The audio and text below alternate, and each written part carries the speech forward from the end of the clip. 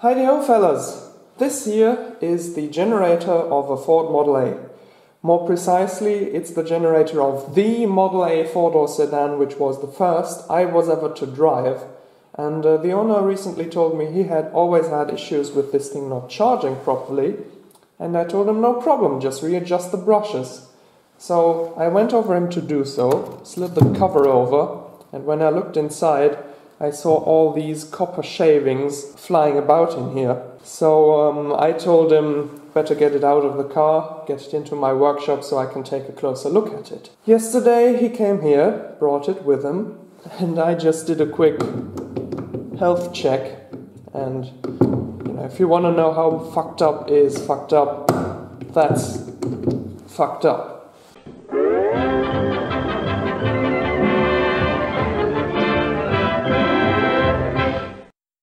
So I grabbed myself a wrench and started digging into this thing, and pretty quickly found out what was wrong with it. So, um, quick diagnose.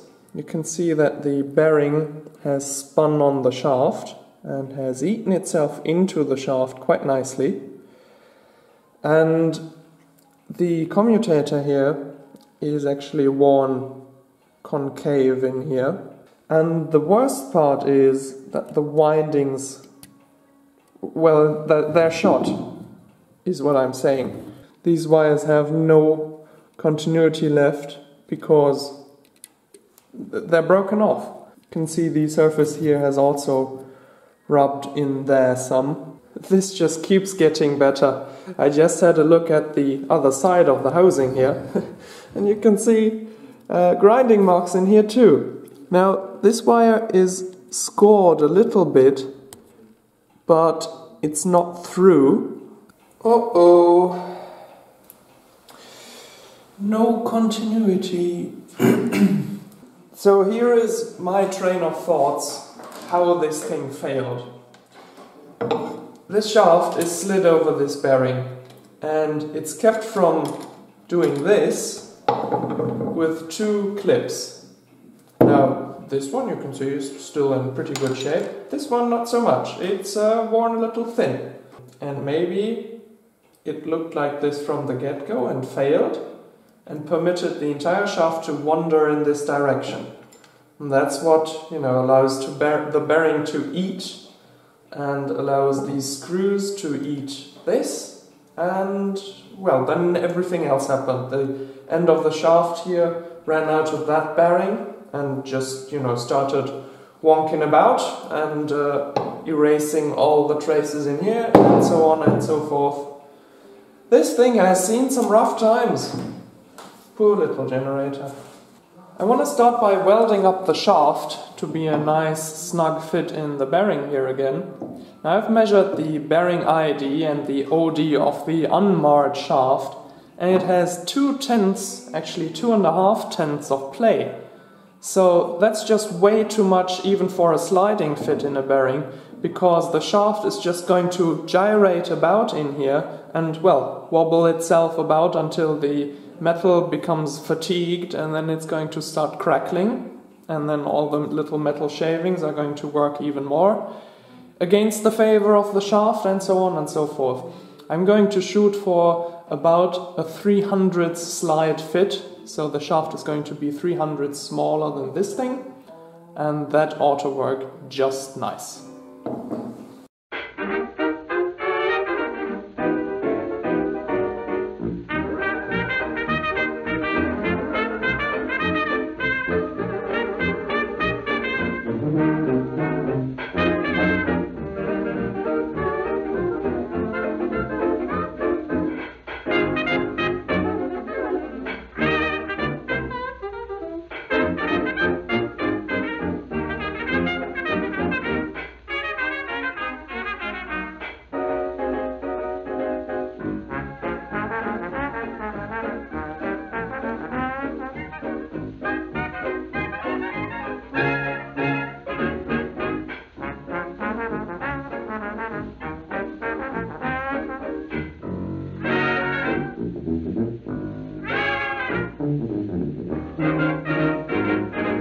Right, I'm hoping I've got enough material on here to save this train wreck of a weld. I was hoping to get away with uh, not having to remachine the taper, but at some point I got carried away and uh, welded onto the taper as well. No biggie, I can always do a skim pass on here, but first we're going to have to reduce the high spots in order to be able to machine this thing properly.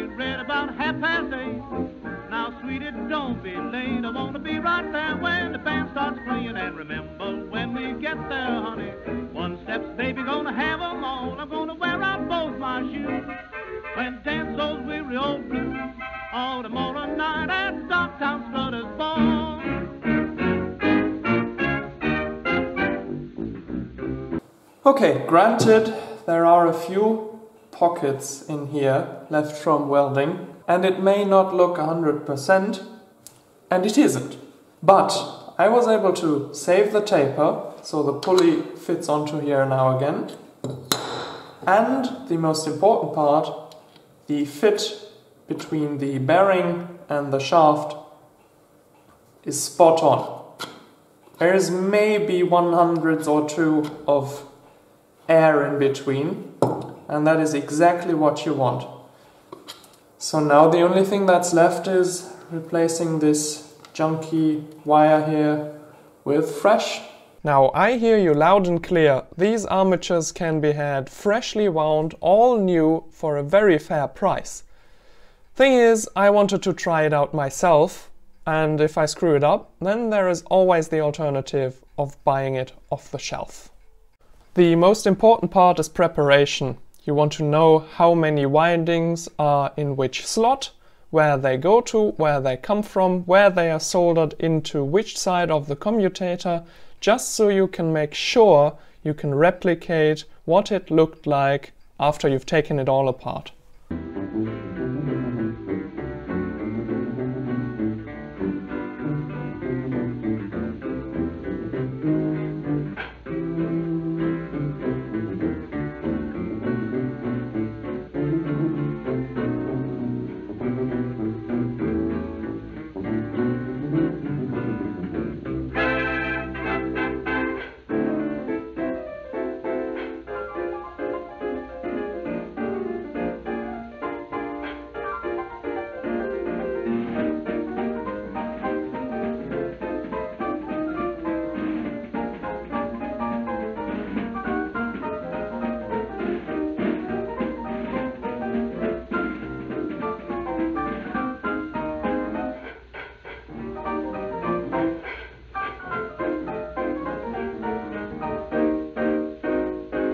With everything taken apart as far as it will go, and with nothing but your sketches to rely on for reassembly, it is now time to take a three month gap before you start the rewinding process.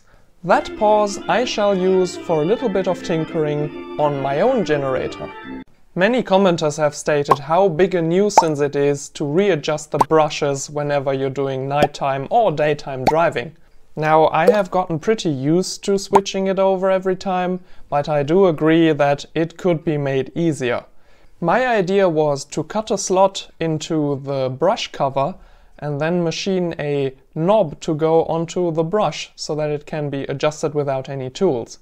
I cut the slot alright, but with the knob attached it made the brush dance about on the commutator, causing a very inconsistent amount of amperage produced during higher speeds.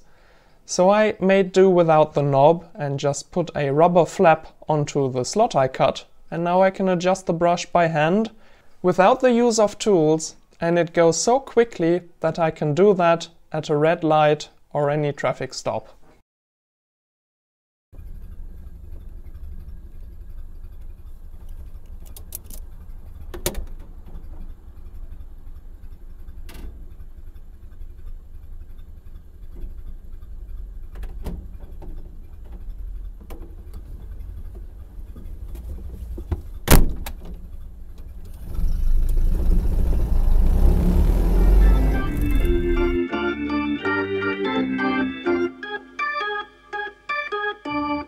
To keep the copper wire from scrubbing against the armature shaft, I prepared two pieces of cardboard, which I will now cut to shape using a Dremel.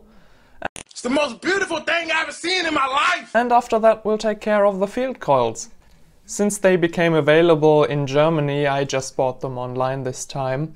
And once they are installed, we can start winding fresh coils.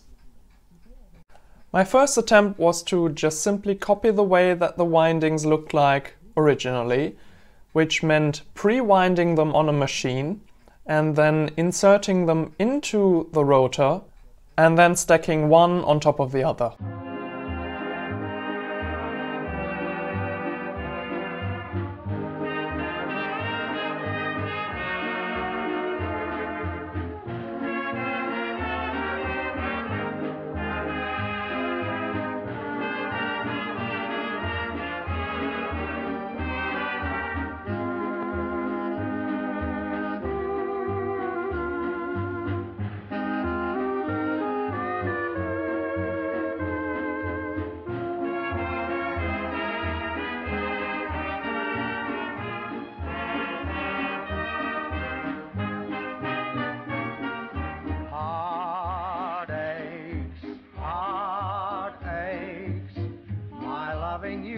You only heartaches.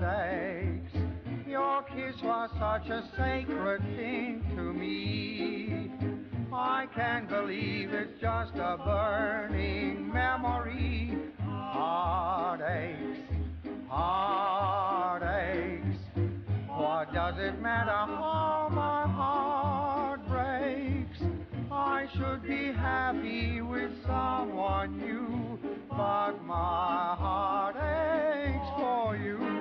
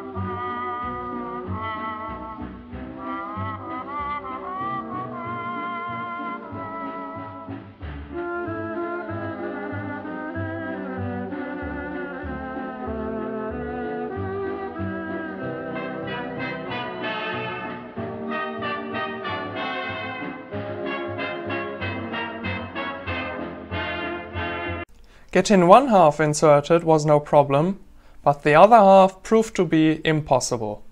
So I looked for videos online on how these guys are wound and uh, found this one where they wind the stuff directly onto the armature. And that's what I did next.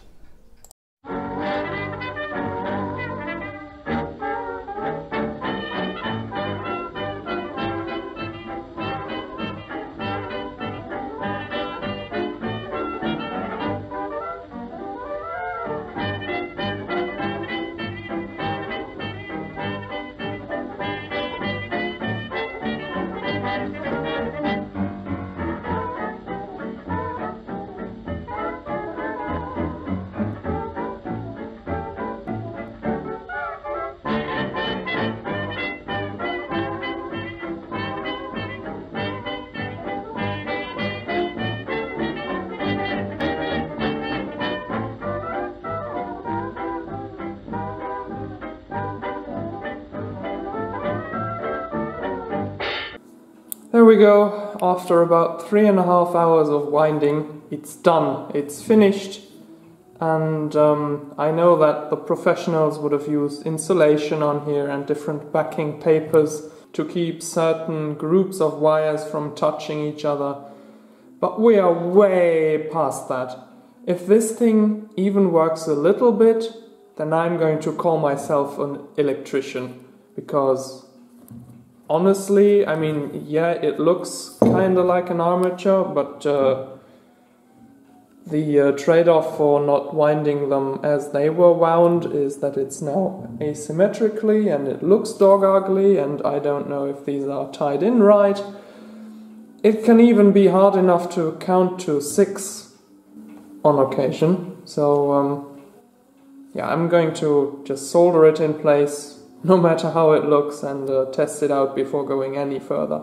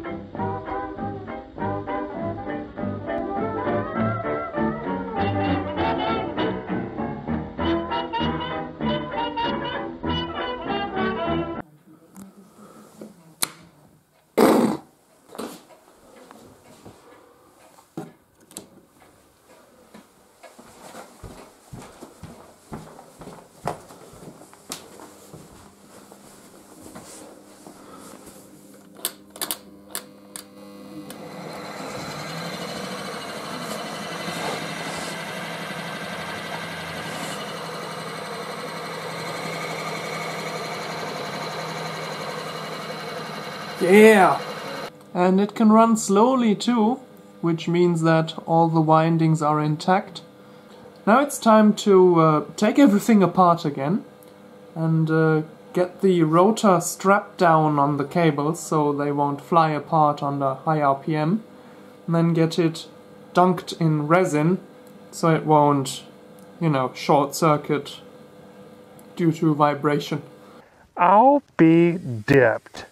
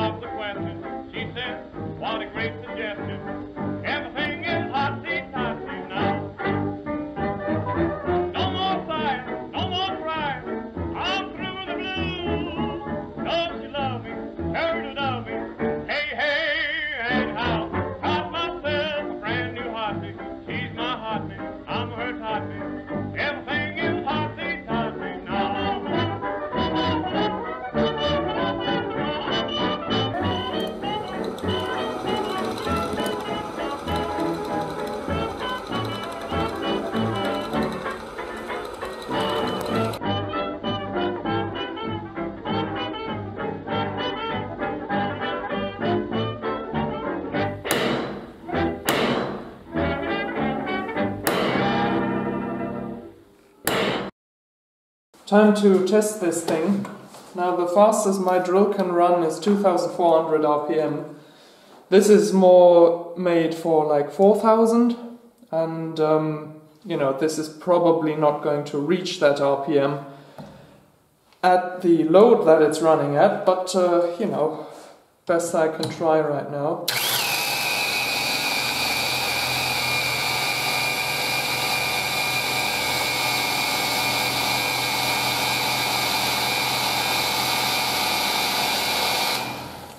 Well, almost 6 volts.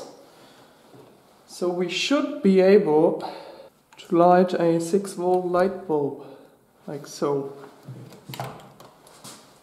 Here we go.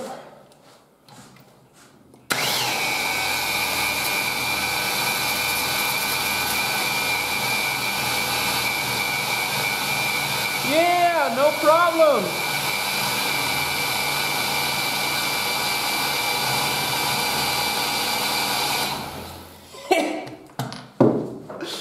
It's alive! It's alive! It's alive! It's alive! It's alive! Well, we've just confirmed that this thing is outputting voltage, and that means I'm confident enough to get this to the owner, install it in the car, and go for a ride!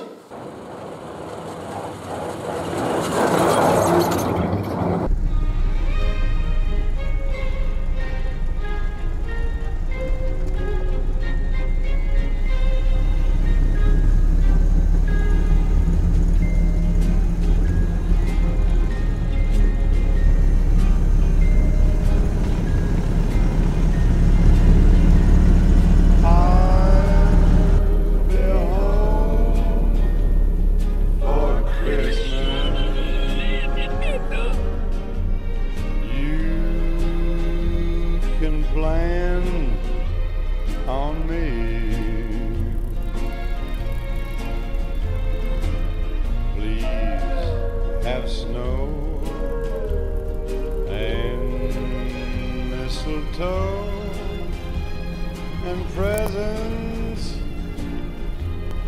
on the tree.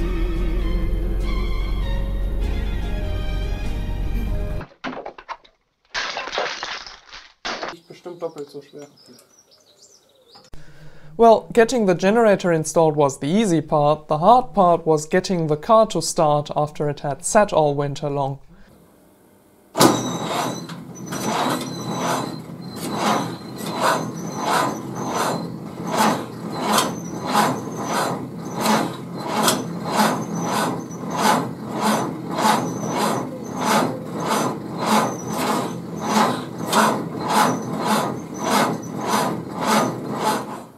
It definitely didn't take us filing the contacts clean, checking the spark plugs, attempting a crank start, or even jump starting with another car just to get the damn thing to fire. Because after all, it's a Ford and they all start up first try, right?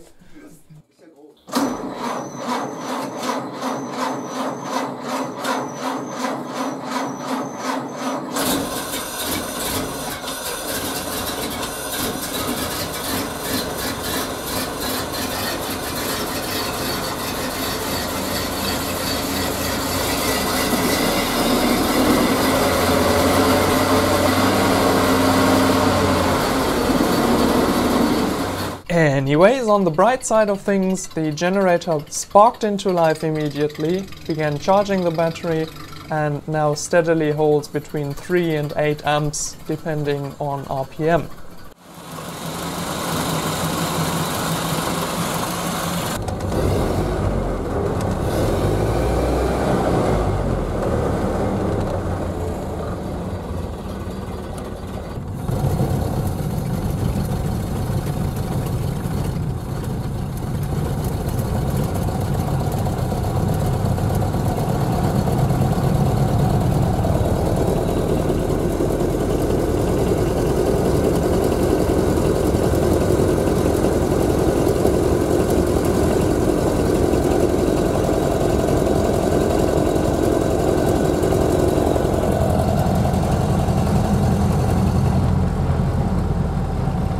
Well, it was certainly nice getting chauffeured around in the four seater, but I couldn't help but notice that the car ran pretty poorly. Two cylinders, sometimes three, were firing, and um, the other two were missing spark. We pulled the spark plug connectors off, there was nothing there, and um, I can't really pinpoint what it is. I'm suspecting a corroded cable, but that wouldn't make only two cylinders miss, right? It's not the distributor casing, it has been replaced. The uh, ignition coil is fresh, the contacts are clean. What could it be? Write your opinions down in the comments below.